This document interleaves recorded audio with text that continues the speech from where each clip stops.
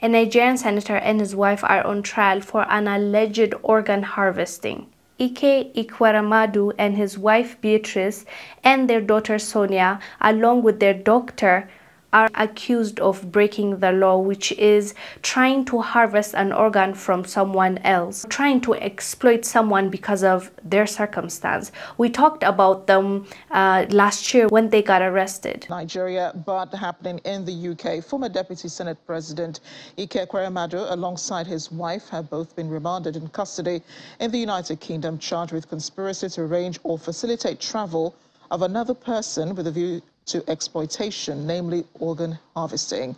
Organ harvesting involves removing parts of the body, often for cash, and against the victim's will.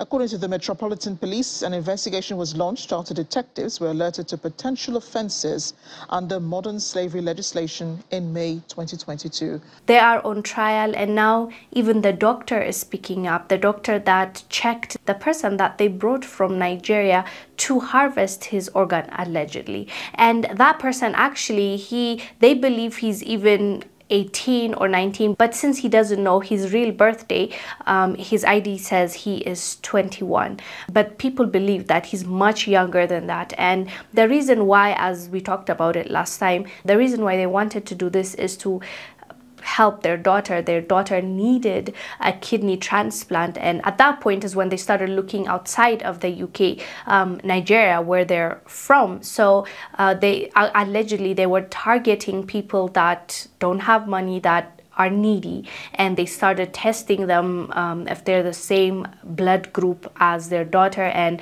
if they're a match. So after they found out that he's a match, this young man who was a street vendor, they told him, allegedly, they're claiming that he didn't know that he's supposed to give a kidney. He was just told that he's there to test and, you know, to get an opportunity to go to the UK and get a visa. So after they found out that he's a match, they flew him out uh, to the UK and um, the doctors started suspecting something um, and that's when they realized this young man actually is not related to this family and also he might just be there without really knowing um, what he's doing and if he's really giving up his um, kidney willingly. But they said that even if he agreed to it if they said that they would pay him you can't do that. It's illegal to pay someone to take their kidney. So they will still face the justice system and they'll still uh, end up serving time even if he knew and they agreed to give him money because that's also illegal. And actually the trial um, is continuing. It's not over yet. So when there's verdict we will update you.